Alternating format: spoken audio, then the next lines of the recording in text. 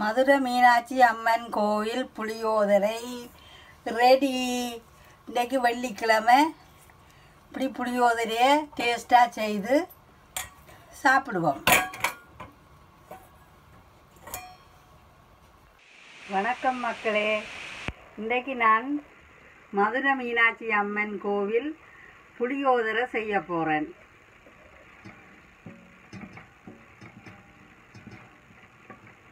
நல்ல டேஸ்டாக இருக்கும்.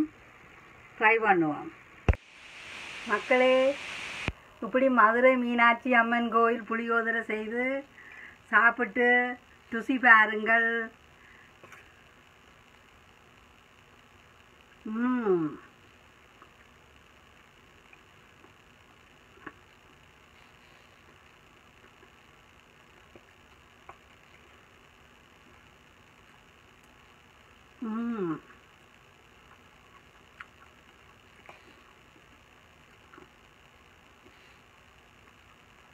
அந்த மல்லி எள்ளு வறுத்த வாசம் வெந்தயம் எல்லாம் போட்டு வறுத்த வாசம் புளியோதரைக்கு தூக்கலாக இருக்குது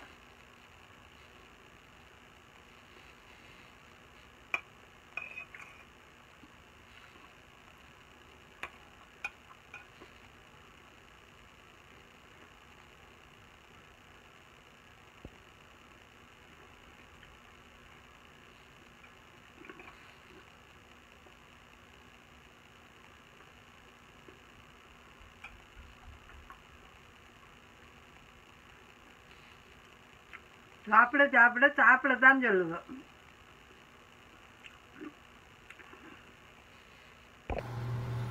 இப்போ மதுரை மீனாட்சி அம்மன் கோயில் புளியோதரை செய்ய போகிறேன் இப்போ மிளகு வறுக்க போகிறேன்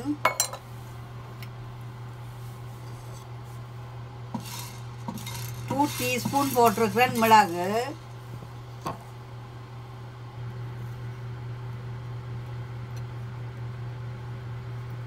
மல்லி. மூன்று டேபிள் ஸ்பூன் அல்லது ஆறு டீஸ்பூன்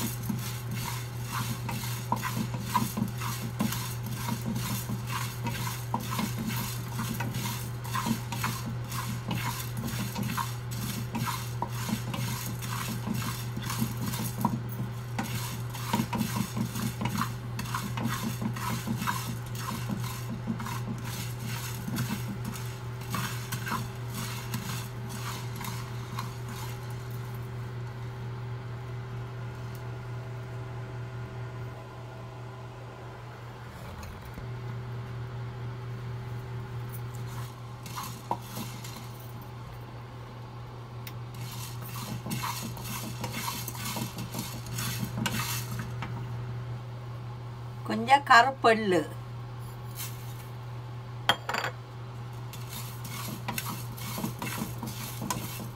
சுவக்க வறுக்க வேண்டும்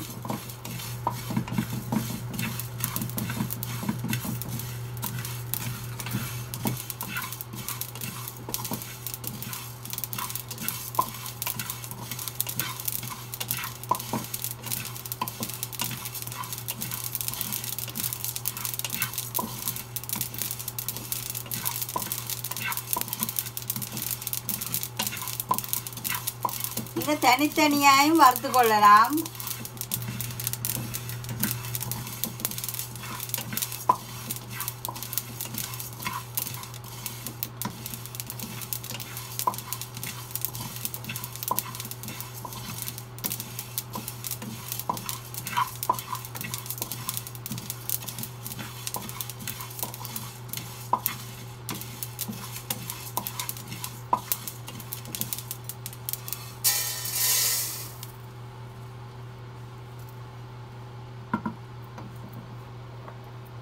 வெந்தயம் டூ டீஸ்பூன்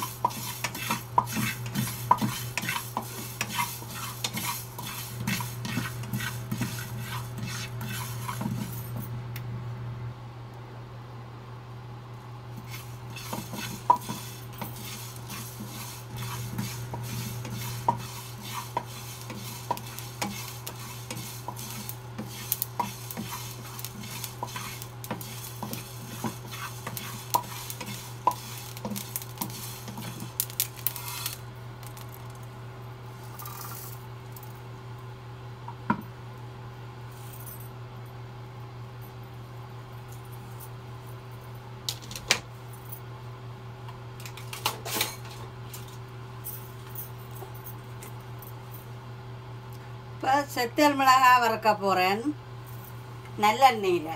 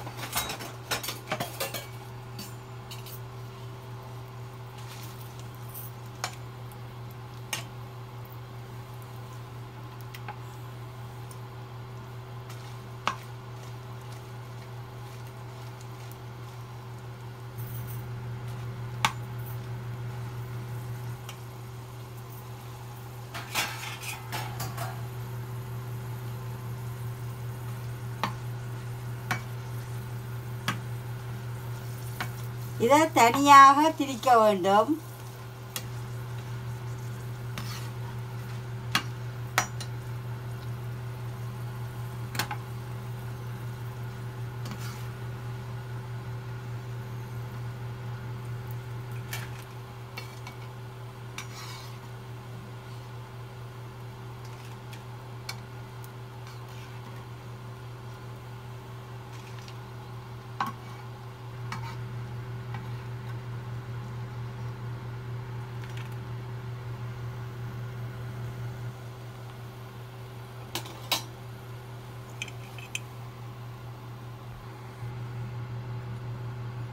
இப்போ கடலைப்பருப்பு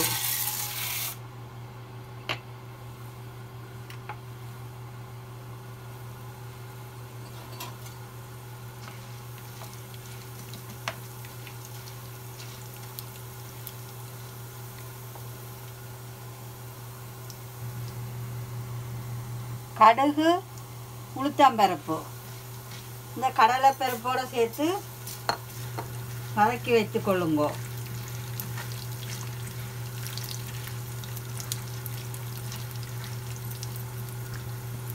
இப்போ புளி கரைச்சி வச்சிருக்கிறேன். இருநூறு கிராம் புளி.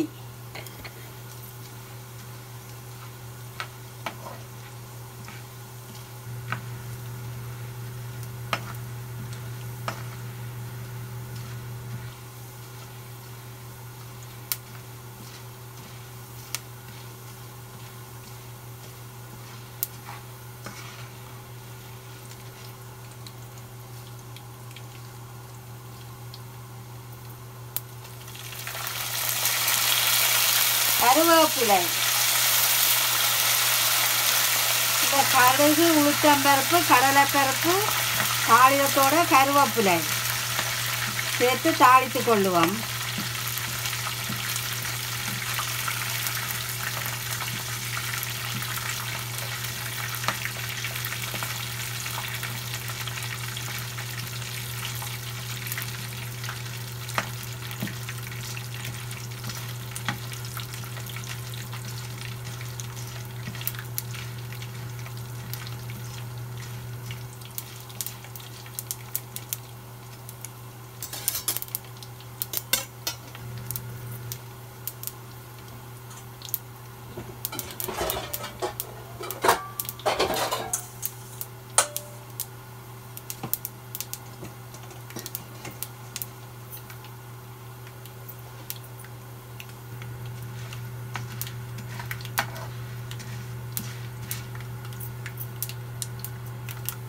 இதோட கொஞ்சம் கச்சானம் போட்டு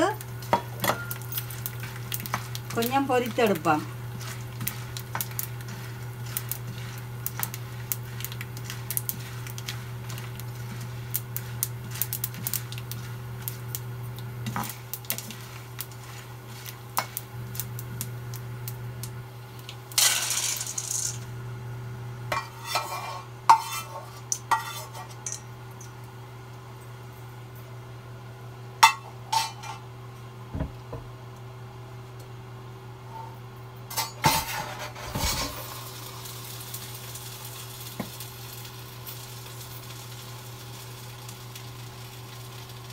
இதில் புளியை காய்ச்சி வத்த விடுவோம்.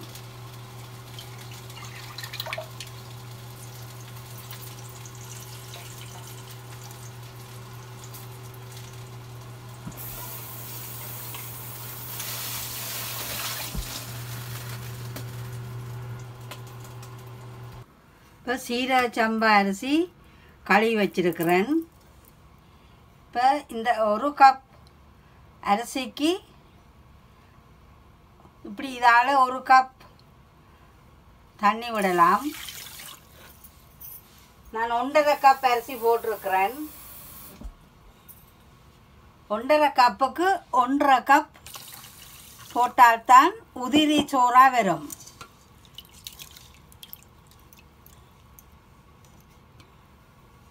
இப்போ சீரக சம்பா அரிசி ரைஸ் குக்கரில் வச்சு வடிக்க போகிறேன்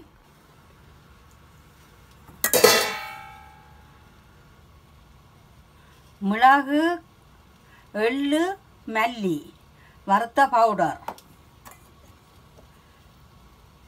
செத்தல் மிளகாய் அதாவது red chilli red dry chilli பொரித்து எடுத்து வச்சிருக்கிறேன் நல்லெண்ணெயில். கருவேப்பிலை எடுத்து வச்சிருக்கிறேன்.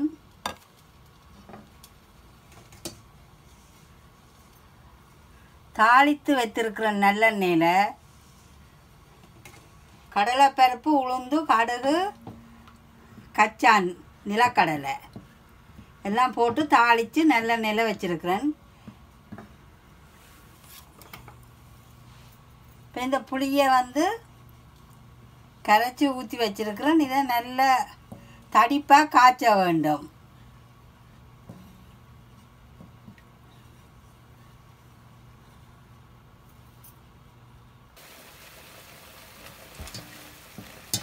இப்போ புளி வந்து இப்போ நல்லா தடிப்பாக வந்துட்டுது.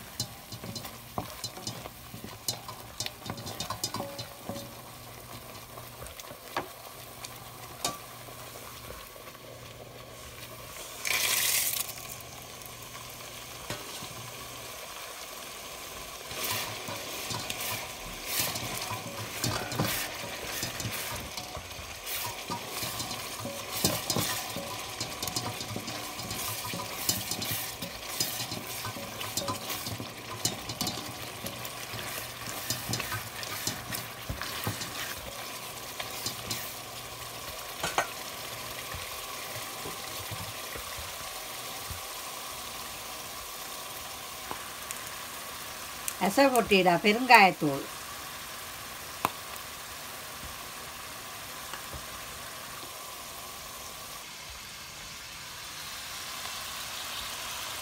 மஞ்சள் தூள்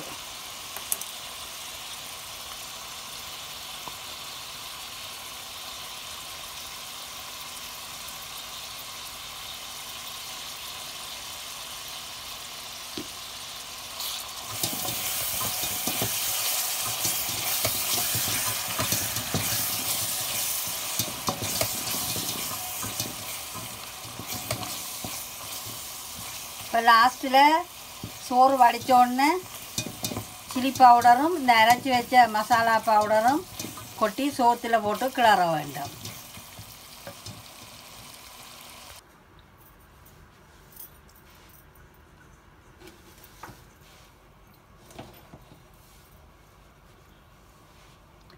சாதம் ரெடி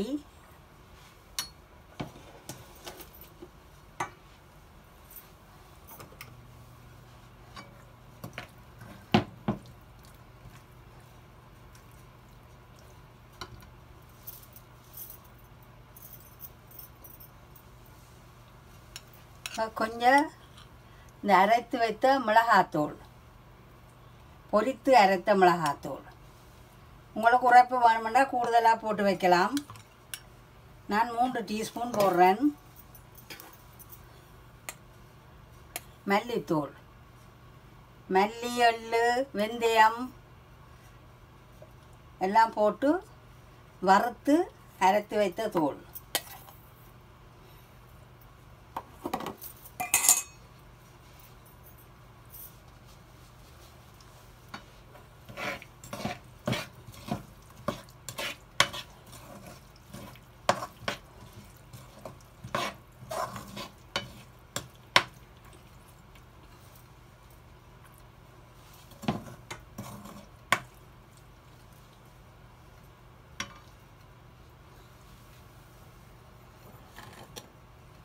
கொஞ்சம் உப்பு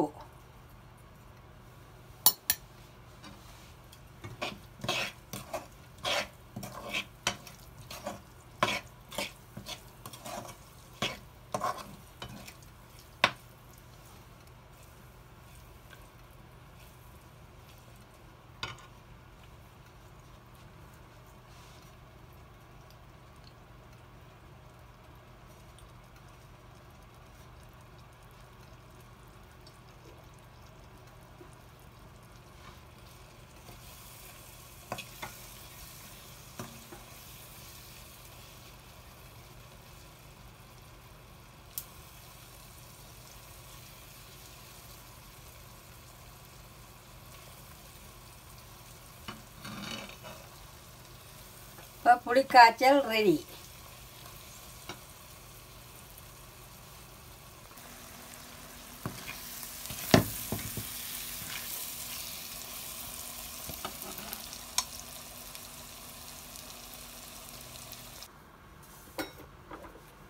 இப்போ புளி காய்ச்சின சட்டியிலேயே இந்த ரைஸை போட போகிறேன்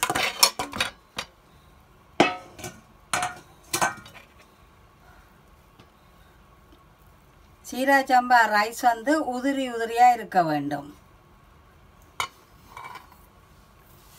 இப்போ கருவேப்பிலை பச்சை கருவேப்பிலை.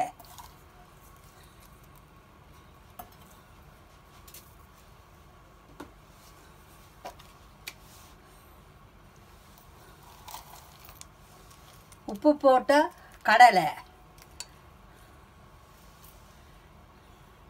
இது சோல் பீனட் இப்படியே வருது.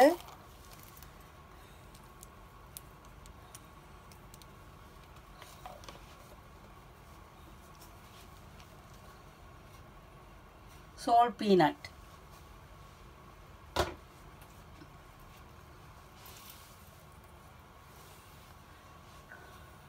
இப்போ இந்த புளிக்காய்ச்சலை கொஞ்சம் விட போகிறேன்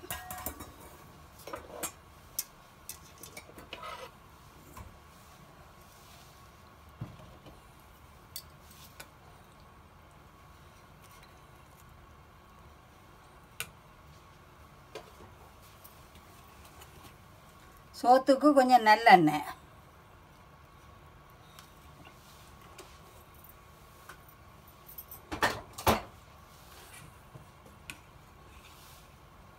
மதுரை மீனாட்சி அம்மன் கோயில் புளியோதரை என்றால் எல்லாருக்கும் நன்றாக பிடிக்கும்.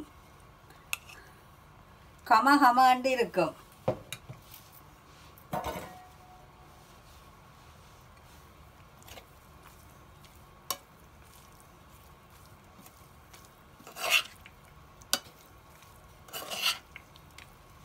இந்த ரைஸ் வந்து உதிரி உதிரியாக இருக்க வேண்டும் நீங்கள் சீரா சம்பா இல்லாட்டி வெள்ளை பச்சை அரிசியிலையும் செய்யலாம்.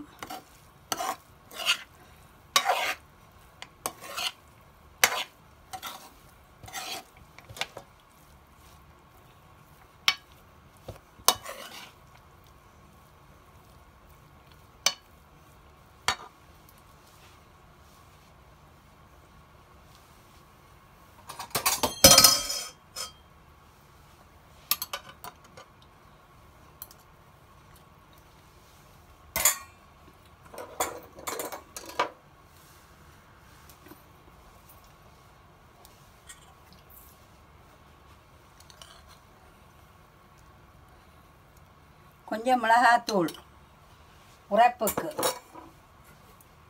வறுத்து பொரித்து அரைச்ச மிளகாத்தூள்.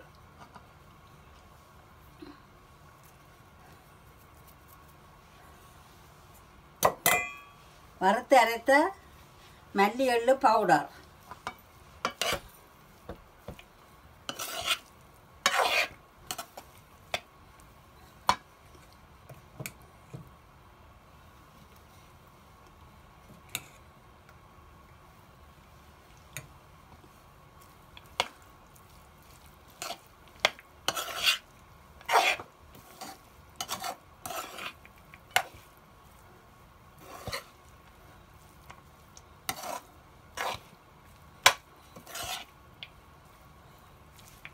உதிரி உதிரிய இந்த சோறு வந்திருக்கு.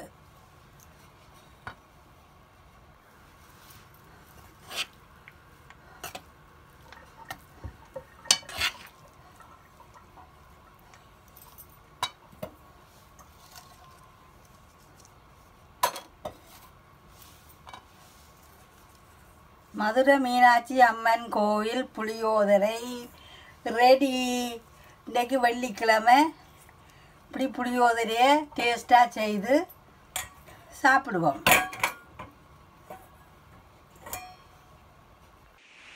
மக்களே இப்படி மதுரை மீனாட்சி அம்மன் கோயில் புளியோதரை செய்து சாப்பிட்டு ருசி பாருங்கள். ம்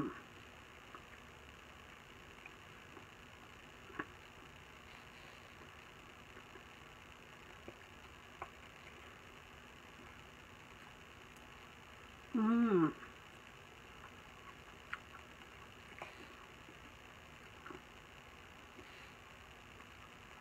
அந்த மல்லி எள்ளு வறுத்த வாசம் வெந்தயம் எல்லாம் போட்டு வறுத்த வாசம் புளியோதரைக்கு தூக்கலாக இருக்குது